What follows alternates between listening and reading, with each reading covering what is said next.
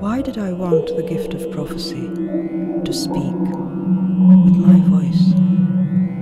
There's something of everyone in me, so I have belonged completely to no one. I have even understood their hatred for me. Troy's end was in sight. We were lost. Aeneas had pulled out with his people. What I grasp between now and evening will perish with me. She's laughing, I hear the women say. They do not know I speak their language.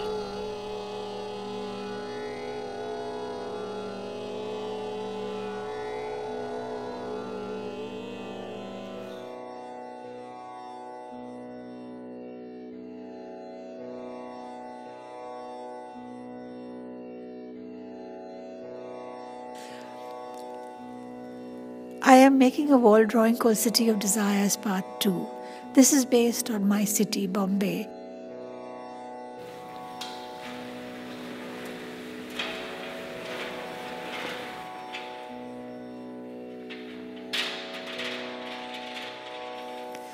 My drawing has maps of Bombay and it also refers to the modernist period of architecture in Bombay, but it portrays people who are dispossessed, the subaltern.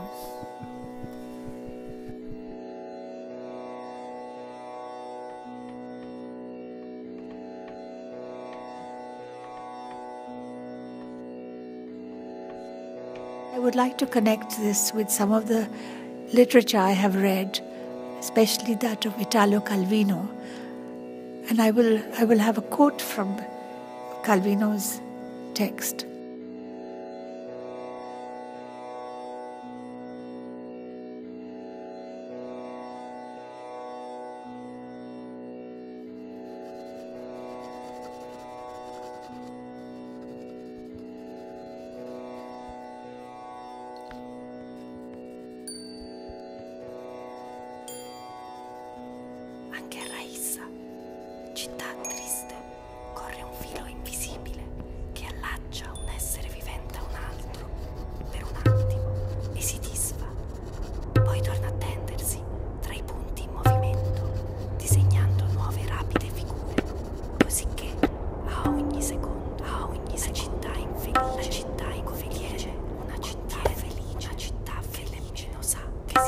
pausa, decís.